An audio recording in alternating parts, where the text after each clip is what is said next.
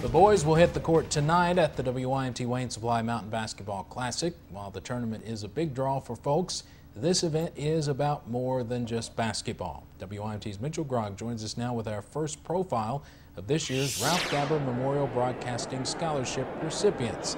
He's live from John C. Combs Arena. Mitchell. Steve, Angelica Mayo serves as an editor for the school paper at Corbin High School, and she says her love of writing began at a very early age. She also says she puts her passions largely into what she writes. Angelica Mayo's journalistic work at Corbin High School includes writing for both the paper and yearbook, but her skills assembling stories began long before she arrived in this office elementary school, I wrote short stories for myself. I was like, I'm going to be an author one day. That was the plan at the time. The stories began to become longer. It went from short stories to chapter books, actually, um, to just writing about things that I felt passionate about. Being channeled in several ways, chronicling her own story through her work.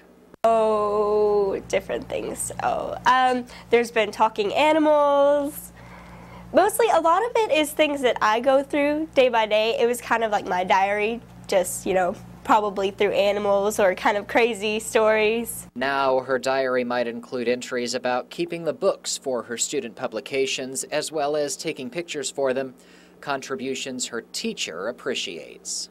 I couldn't work without Angelica.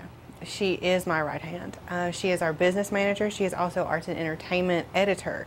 And while that right hand is set to graduate soon, both student and teacher remain optimistic about Mayo's next step.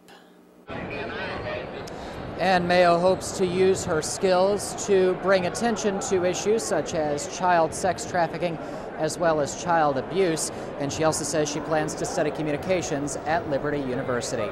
We are live in Perry County. Mitchell Grogg, WYMT Mountain News. All right, Mitchell, thank you very much, and we will continue our profiles tomorrow.